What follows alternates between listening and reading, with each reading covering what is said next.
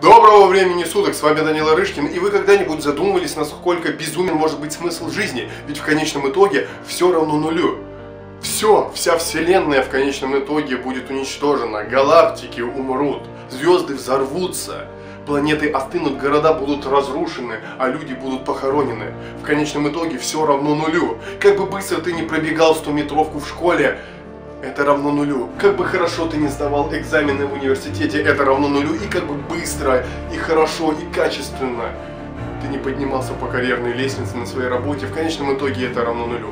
Сколько бы ты ни перечитал, ни послушал, ни посмотрел, в конечном итоге это ничего не значит.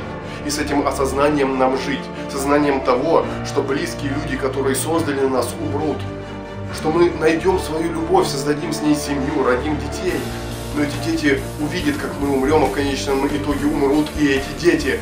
И с этим нам жить. И поэтому человечество постоянно ищет бессмертие. Она хочет сделать бессмертие реальностью. Ну так вот же, вот, бессмертие – это реальность. Это и есть реальность. Мы, видеоблогеры, те люди, которые убегают от смерти, одно из доказательств того, что можно хоть как-то продлить свое существование, хоть как-то увеличить свой отрезок времени. Потому что даже через тысячу лет, когда мы все сгнием, вы все равно сможете выйти в интернет и увидеть нас. И как бы мы бы не создавали свой контент, какими бы словами мы бы не говорили, что бы мы не делали на камеру, в конечном итоге мы двигаем информацию через время и пространство.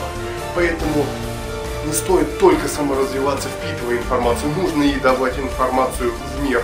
Тогда бессмертие будет реальным, пусть даже и после вашей смерти. Ну а с вами был Данила Рышкин, самый субъективный бородач на всем ютубе и во всем интернете. Не будьте нормальными, будьте рациональными. Всем спасибо, всем дизлайк.